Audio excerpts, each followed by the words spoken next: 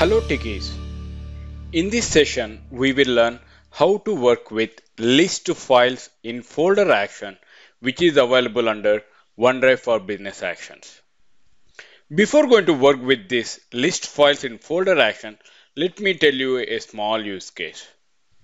In my OneDrive, I'm having a folder called Power Automate Desktop. In my folder that is Power Automate Desktop, I'm having few files along with the folder. If I want to get the information about the files and folders which are available in this particular Power Automate Desktop folder, how can I get to know by using OneDrive for Business Actions? There is an action called List Files in Folder Action will give the information about the files and subfolders which are available in the particular folder. Alright, let me drag and drop this action onto the workspace. The main purpose of this list files in folder action is to get the list of files and subfolders in a particular folder. Now, if you observe in our Power Automate desktop, I'm having subfolders as quiz and some files that I'm having in the document and some files I'm having in PDF format and some files in the PPT format. Along with that, I'm having some files in the exe. All right all these files and folders I will get it by using list files in folder action. Now if you see the parameters for list files in folder the first parameter is the folder. You want to get the files and folders in the particular folder. In our case I am having Power Automate Desktop is my folder name. Now I'm going to select the parameter over here as select files or variables. Let me select that. And then I'm going to choose the folder that is Power Automate Desktop, which is available in our root folder. Now, whenever I'm going to execute this action, all the list of files and subfolders will get it as an output in the variable that is list folder v2 response from the particular action that is list files in folder. Now, let me go for the advance. We are having timeout and the output we are going to store in the list folder v2 response. All right, let me click on save. Now let's run the flow to see the output. Flow execution started. And there if you see it is trying to get all the list of files and folders by using list files in folder action.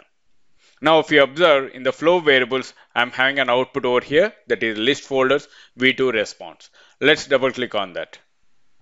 Now if you see I'm having property as value and the inside that I'm having some values over here inside the variable that is list folder v2 response. Now, if you click on more, this is a list of files and folders, right? There you can see I'm having items over here. If you go back to the Power Automate desktop folder, there you can see I'm having one folder that is quiz and remaining all are files over here. Let me expand the first one over here. There you can see I'm having name as quiz and each folder is true because of it's a folder name and remaining all are items, right? If you go for the any item, then it will comes as each folder as false, correct?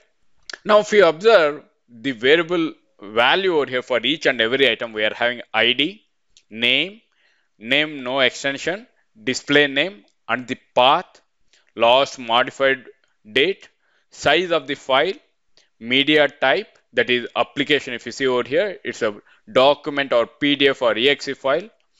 Is folder that is true or false e tag file locator and finally we have last modified by. Now by using this variable that is list folder v2 response i need to get the information about each and every file or subfolder which are available in the particular folder that is power automate desktop. How can i go ahead and do that before that, let me click on close. And then I'm going to use the action called for each action. Let me drag and drop this for each action onto the workspace. This for each action iterates over items in a list or data table or data row to iterate the values. Now, in our case, if you see the values to iterate is list files in folder right what is the output from the list files in folder there's list folder v2 response it's a list of items over there all right in this case the select parameter value to iterate i'm going to select it as list folder v2 response But inside that, what is the values that we have? We are having the value over there. We need the value over here as the property, right? I'm going to select list folder v2 response dot value and then I'm going to click on select. Now, each and every iterate, we are going to store the item in the current item variable. All right, let me click on save. Now, by using this current item, we are going to display the name of the particular file or folder, which is available in our particular folder, which is coming from the list files from folder. How can we go ahead and do that? That is by using display message action. Let me drag and drop this action inside for each. Now, first one is the message box title. I'm just going to give it the information over here. This is file or folder name. Now, what is the message to display? In the current item, we are having the display name. I'm going to display that value for each and every iteration. Now, I'm going to current item. In my current item, I'm having the same parameter, same properties which we have for the list folder v2 response. Now, I'm going to display display name and then I'm going to click on save. Now, what is this desktop flow will do? First, it will get the list of files and folders by using list file in folder action, which is available in OneDrive for Business. Then the output will be stored in the list folder v2 response and it will go through the iteration by using for each action. Now for every iteration, it will displace the value which is available in the current item with the name of display name. Alright, now let's run the flow to see the output. Flow execution started. Now as a first step, it is trying to retrieve the list of files and subfolders in the folder that is Power Automate Desktop. And then it will go through the loop each and every time. And then you can see over here, first one is the quiz. Second one that is file over here.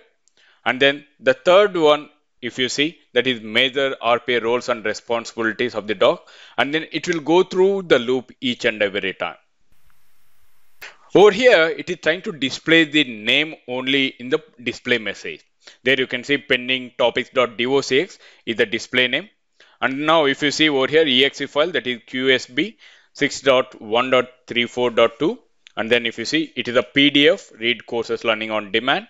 And finally, we have PPTX that is RPA lifecycle.pptx, right? Now, once it has been completed, it will goes to an end. All right.